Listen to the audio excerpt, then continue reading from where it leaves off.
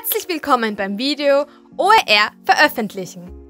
Erhalten Sie in diesem Video einen Überblick zur Bedeutung von Metadaten und der korrekten Auswahl von Suchwörtern. Mit diesem Video können Sie Ihre Kenntnisse zur Veröffentlichung von OER fördern. Fast geschafft. Sie befinden sich auf der Zielgeraden. Ihr Material ist erstellt und mit einer passenden Lizenz versehen. Nun fehlt nur noch ein letzter Schritt. Damit aus Ihrem Werk eine vollständige, freie Bildungsressource wird, müssen Sie es veröffentlichen. Nur die Veröffentlichung stellt sicher, dass Ihr Material von anderen gefunden und dann entsprechend Ihrer gewählten Lizenz verwendet werden kann.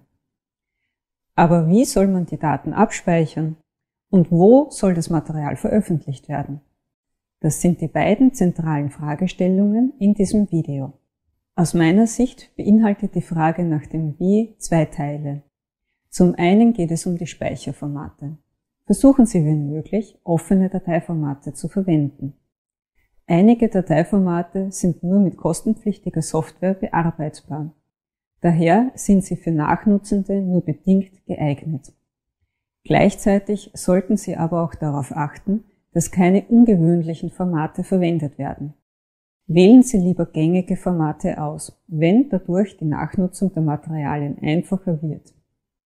Ziehen Sie auch in Erwägung, ein und dasselbe Material in mehreren unterschiedlichen Dateiformaten zu veröffentlichen.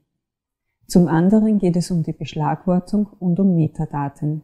Metadaten sind strukturierte Daten, die Informationen über Merkmale anderer Daten enthalten. Damit im Material später von Interessierten über eine Suchfunktion gefunden wird, sollte es mit möglichst vielen erläuternden Begriffen, also Metadaten, verknüpft sein. Teilweise werden solche Metadaten automatisch erzeugt. Beispielsweise können Daten wie das Erstellungsdatum eines Objektes, das Dateiformat oder die Dateigröße gut automatisiert ausgelesen werden. Auch beim Erkennen von der im Objekt verwendeten Sprache gibt es große Fortschritte. Danach wird es mit den automatischen Prozessen allerdings schon komplizierter. Daher braucht es Ihre Unterstützung als Urheberin bzw. Urheber. Sie sind die Person, die am besten über Ihr Material Bescheid weiß. Und genau dieses Wissen können Sie im Zuge der Materialveröffentlichung in Form von Schlagworten und Metadaten weitergeben. Wo passiert nun aber die Verknüpfung von Materialien und Metadaten? Diese Frage führt uns zum zweiten zentralen Thema in diesem Video. Wo soll das Material veröffentlicht werden? Für die Veröffentlichung haben Sie grundsätzlich mehrere Möglichkeiten. Beispielsweise können Sie einen Blog oder eine Website erstellen, auf der Sie Ihre Materialien öffentlich ablegen. Es ist zwar mittlerweile viel einfacher geworden, solche Umgebungen selbst zu betreiben, doch ist damit natürlich ein gewisser Aufwand verbunden. Eine weitere Option ist die Veröffentlichung ihrer Materialien auf Plattformen für spezielle Medienformate.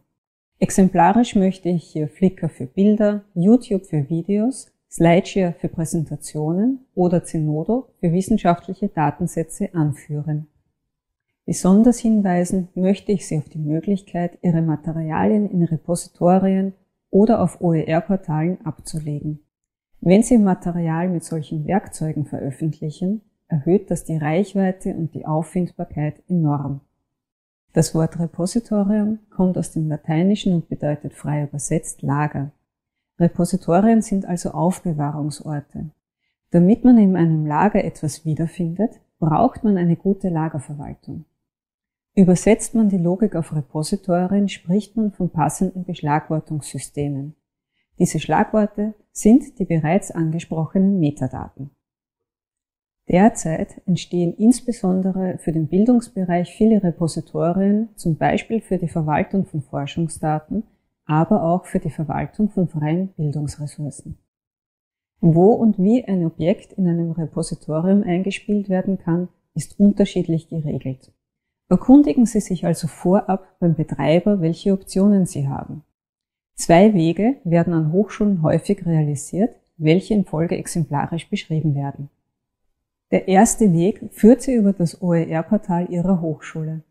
Dort laden Sie Ihr Material hinauf und versehen es mit diversen Metadaten, wie beispielsweise Titel, Beschreibung, Lizenzinformationen, Fachdisziplin und so weiter. Oft bieten Ihnen die Systeme bereits vorgefertigte Auswahlmöglichkeiten, sogenannte standardisierte Vokabularien, an.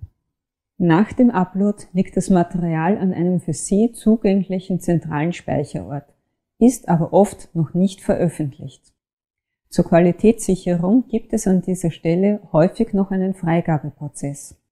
Je nachdem, wie dieser Freigabeprozess geregelt ist, können Sie das Material nun selbst publizieren oder aber das Publizieren wird von einer dritten Stelle gemacht. Andere Quellsysteme, wie zum Beispiel der Zugang über das Lernmanagementsystem Ihrer Hochschule, stellen einen weiteren Weg dar.